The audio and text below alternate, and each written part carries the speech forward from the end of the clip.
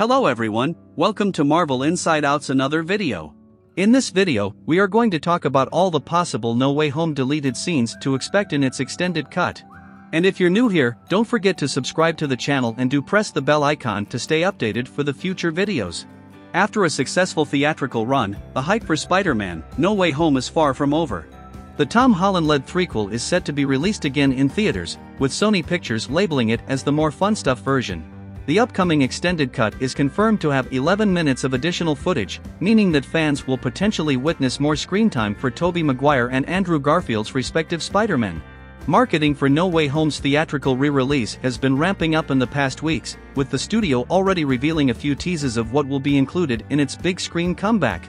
While it's unknown which deleted scenes will be featured in the extended cut, Sony Pictures may have already teased what will be included. An extended interrogation scene. Once Peter Parker's secret identity as Spider-Man was revealed to the world, the Department of Damage Control didn't waste time in interrogating his closest allies, namely Aunt May, Ned, and MJ.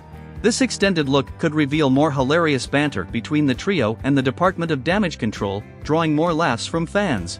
Peter Day at Midtown High. In the original cut, most of Peter's classmates and teachers were excited to find out that he's actually Spider-Man. The recent trailer already revealed that Peter is using his powers in front of his peers inside the school gym, and more scenes of him being forced to demonstrate his abilities could be showcased. The fact that the deleted scene says Peter Day could hint that Midtown High is celebrating the hero, but he doesn't seem interested in this special occasion. Undercroft montage. When Ned first entered Sanctum Sanctorum's Undercroft, the character was amazed by its mystical artifacts. It's possible that an extended look at this notable location could be featured, revealing more secrets from the sanctum. The theatrical cut also revealed that MJ found a box containing a goatee template that is eerily similar to Doctor Strange's facial hairstyle. That said, this scene could unravel more of Stephen Strange's secrets by showcasing similar notable Easter eggs tied to the character. More Daredevil scenes in Happy's Very Good Lawyer. Charlie Cox's surprising return as Matt Murdock made headlines while also earning an overwhelmingly positive reception from fans and critics.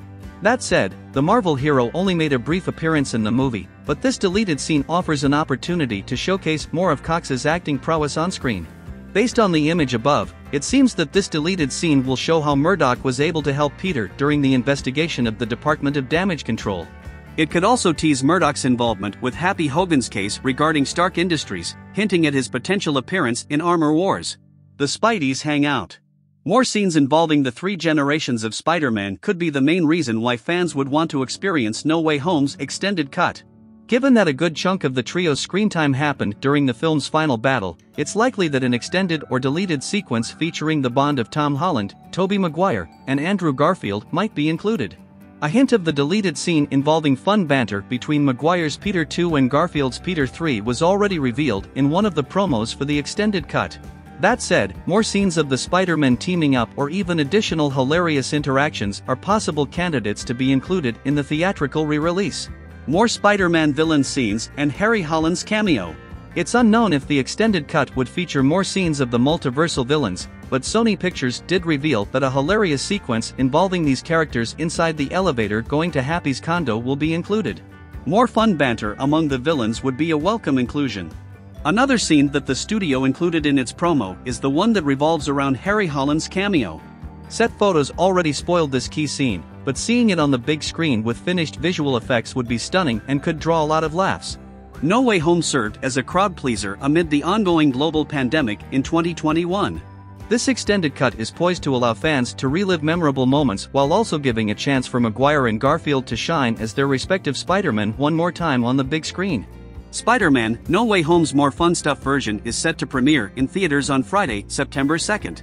If you are as excited as me to see these new scenes in No Way Home, hit the like button as well as do let us know your thoughts in the comments.